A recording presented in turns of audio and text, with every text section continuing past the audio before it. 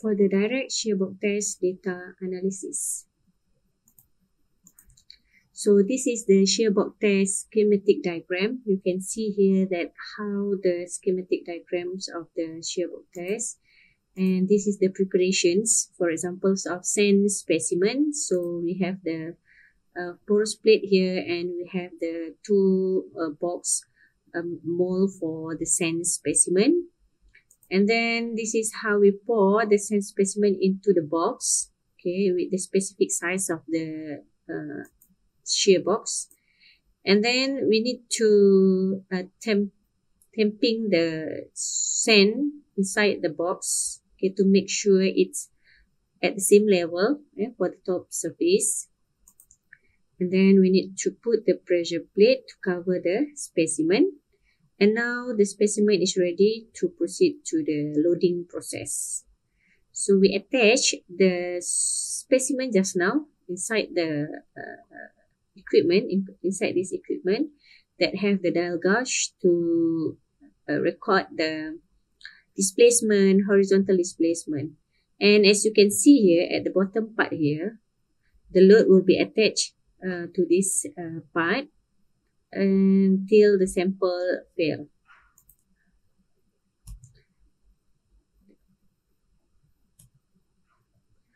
So this is the loading frame to apply the vertical load and also the dial gauge to measure the vertical displacement. And this dial gauge to measure the horizontal displacement. That the proving ring will measure the shear force.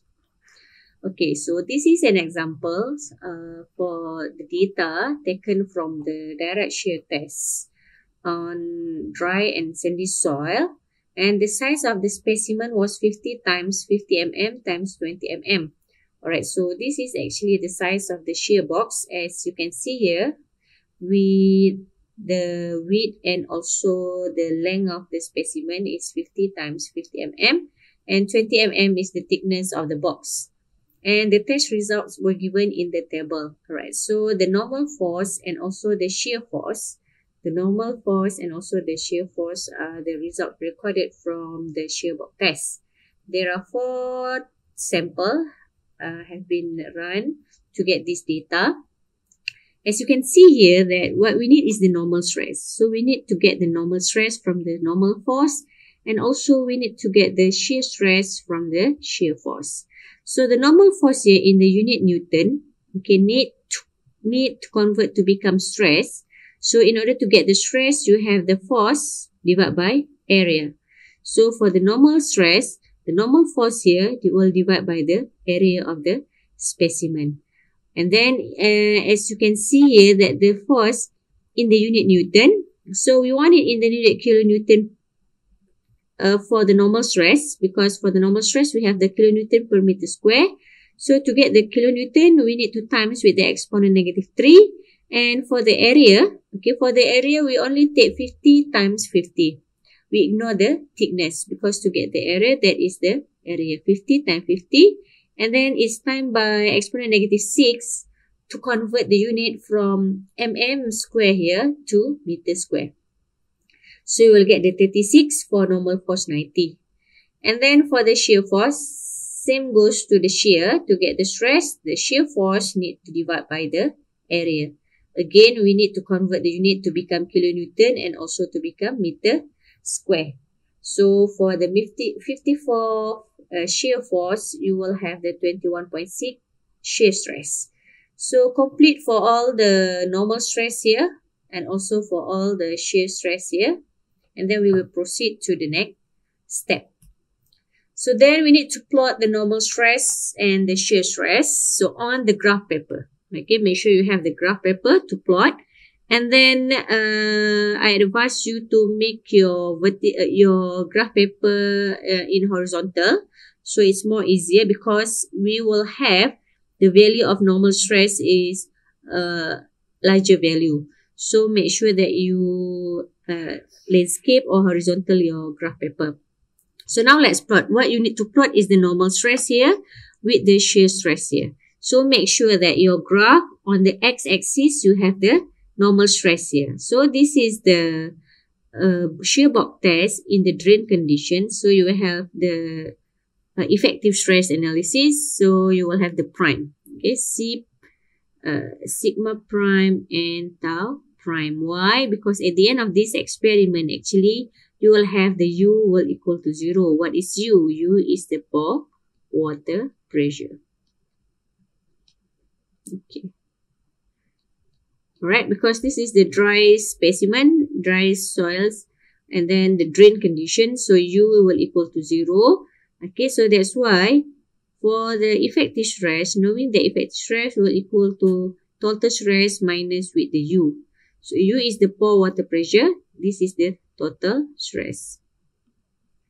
And this is the effective. So once you have U equal to 0, what you have at the end is effective stress will equal to the total stress as you can see here. Okay, and same goes to the tau or the shear force. This is the tau prime. Okay, so now we need to plot. So we need to plot, for example, we have 36 and 21.6. So this is the first point. So 36 is uh, around here and 21.6 is around here. So you need to plot all the data. You need to plot all the data. Okay, for the test number 2, number 3 and number 4.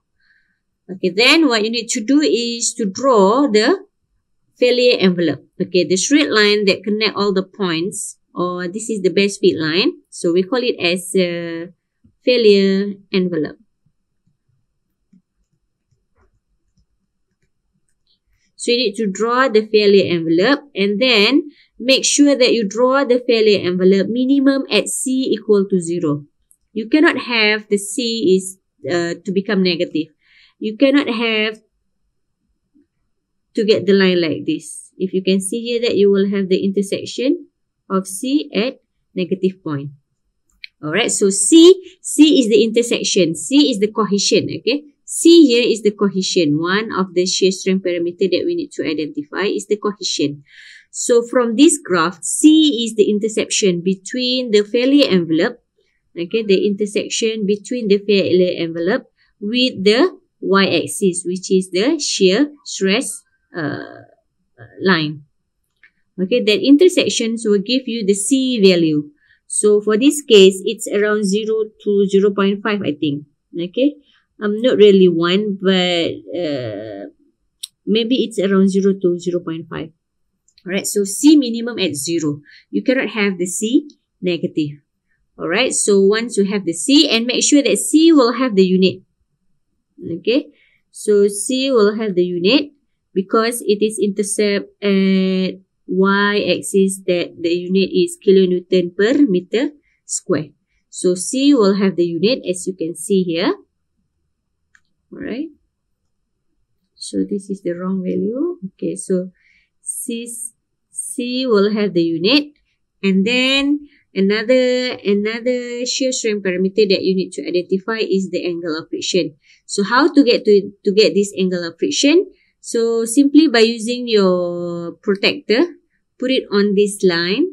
Okay, and then you measure the line. You measure the angle here. So you will get around 31 degree. So the unit is in degree. So make sure you have the symbols of degree. So this is, this is the angle of frictions. Okay, actually, this value will same at any point and any part. Okay, let's say you will want to measure it here. So it will have the same value also, which is 31 degree. Or you want to make it here. So it also have the same value here, which is also 31 degree.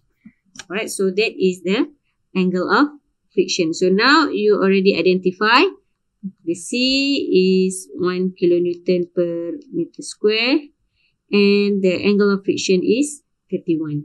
And make sure that when you plot, your y-axis and x-axis should be similar. Alright, so as you can see here, since I have the, the uh, the smallest value is 36 and the largest value is 180 for the normal stress. So I make it in scale of 20, 40, 60. And same goes to the shear stress. So make sure we'll use the same scale and the same gap. For example, here the gap is around 2 cm between one number to another number. So same goes to all parts X and Y also have the 2 cm gap and another 2 cm gap. So make sure that the scale for X and Y should be similar. Alright, so that's how we get the shear strength parameter from the shear box test. Thank you.